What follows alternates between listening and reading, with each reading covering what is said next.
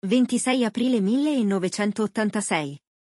Alle ore 1.23 minuti e 45 secondi locali, durante un test sulla sicurezza nella centrale nucleare di Chernobyl, precisamente sul reattore numero 4 sito in Pripyat, per un presunto errore del personale al lavoro in quel momento, accade l'irreparabile. Il test doveva essere condotto di giorno, da personale appositamente preparato ma, a causa di un parallelo calo nella rete che forniva l'energia alla vicina Kiev, il via libera per ridurre la potenza del reattore di Chernobyl senza rischiare deficit di fornitura, venne dato solo di notte, quando era in servizio il personale del turno successivo, completamente all'oscuro delle procedure di emergenza.